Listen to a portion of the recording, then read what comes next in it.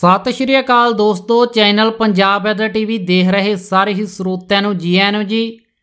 ਇਸ ਵੇਲੇ ਦੀ ਵੱਡੀ ਖਬਰ ਹੈ ਜੀ, ਮੋਦੀ ਸਰਕਾਰ ਨੇ ਸ਼ੁਰੂ ਕੀਤੀ ਇਹ ਨਵੀਂ ਸਕੀਮ, ਲੱਖਾਂ ਲੋਕਾਂ ਨੂੰ ਹੋਵੇਗਾ ਵੱਡਾ ਫਾਇਦਾ।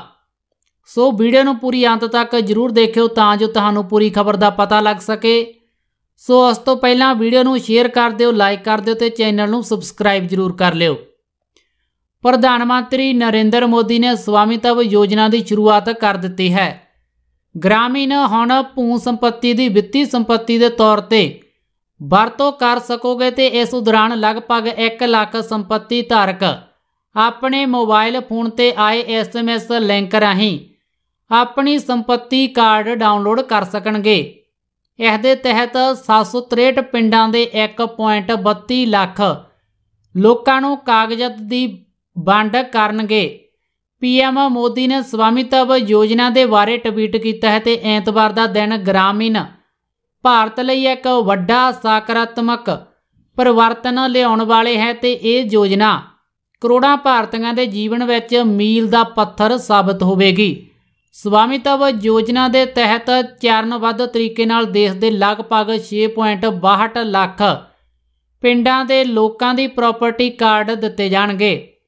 ਯੋਜਨਾ ਦਾ ਉਦੇਸ਼ ਗ੍ਰਾਮੀਣ ਇਲਾਕਿਆਂ ਦੀ ਸੰਪਤੀ ਨਾਲ ਜੁੜੀਆਂ।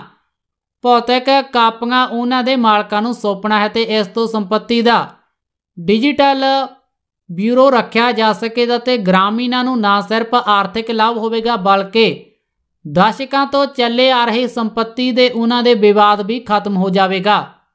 ਉਹਨਾਂ ਨੂੰ ਕੋਰਟ ਕਚਹਿਰੀ ਦੇ ਚੱਕਰ ਵੀ ਨਹੀਂ ਲਗਾਉਣੇ ਪੈਣਗੇ। ਸਵਾਮਿਤਵ ਯੋਜਨਾ ਤਹਿਤ ਪ੍ਰਦਾਨ ਕੀਤੇ ਜਾਣ ਵਾਲੇ ਪ੍ਰਾਪਰਟੀ ਕਾਰਡਾਂ ਨੂੰ ਦਿਖਾ ਕੇ ਗ੍ਰਾਮੀਣ ਆਸਾਨੀ ਨਾਲ ਲੋਨ ਲੈ ਸਕਣਗੇ ਤੇ ਸਰਕਾਰ ਦੀ ਯੋਜਨਾ ਹੈ ਕਿ ਸਾਲ 2024 ਤੱਕ 6.40 ਲੱਖ ਪਿੰਡਾਂ ਦੇ ਸਾਰੇ ਸ਼ਹਿਰਾਂ ਜਾਂ ਆਬਾਦੀ ਖੇਤਰਾਂ ਦਾ ਨਕਸ਼ਾ ਤਿਆਰ ਕੀਤਾ ਜਾਵੇਗਾ।